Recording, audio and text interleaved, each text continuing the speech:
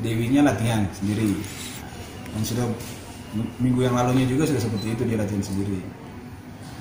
Hanya kita arahkan dia jangan mengarah di daerah yang dekat kabel karena air yang pasang sehingga kabel itu dari permukaan air sampai ke kabel cuma 60 cm takutnya anaknya itu kejerat kabel. Tapi peristiwa itu dia tidak tahu ternyata anaknya masuk ke situ. Dia sempat atau dia menyentuh kabel kepalanya sehingga dia kembali dagingnya menyentuh kabel. Itu loh itu loh itu loh itu loh. Itu loh itu loh. Itu kabel yang kena Dewi ini ini ini ini. Ini kabel yang meledak. Yang kemarin kena Dewi. Lagi proses melihat kabel yang meledak dengan jarak yang sangat dekat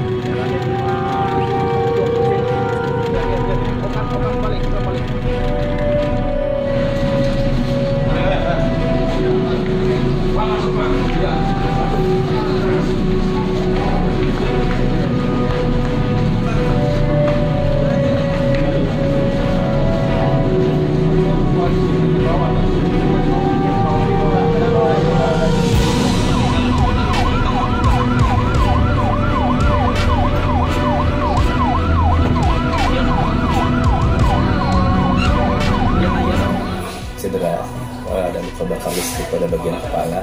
Dan memang dari kejadian eh, luka bakarnya itu eh, disebabkan oleh karena kabel listrik yang mengenai bagian kepala. Dan setelah itu pasien eh, terjungkal. Kemudian eh, setelah itu eh, pasien diantarkan ke rumah sakit. Memang luka bakar listrik ini dengan kondisi seperti Dewi dikategorikan memang adalah suatu luka bakar yang eh, suatu cedera yang cedera yang eh, melibatkan banyak organ sehingga kita harus mengobservasi Dewi eh, untuk beberapa hari ke depan. Memang masuk dalam kondisi yang cukup stabil eh, di mana ada luka bakar pada bagian kepala. eh, kita juga curigai takutnya ada suatu cedera kepala dan memang sampai saat ini eh, kita sementara ini kita bisa menyegarkan cedera kepala tersebut dan memang hanya betul-betul murni eh, terjadi luka bakar listrik di bagian kepala, luka masuk dan eh, luka bakar tersebut keluar pada bagian kaki.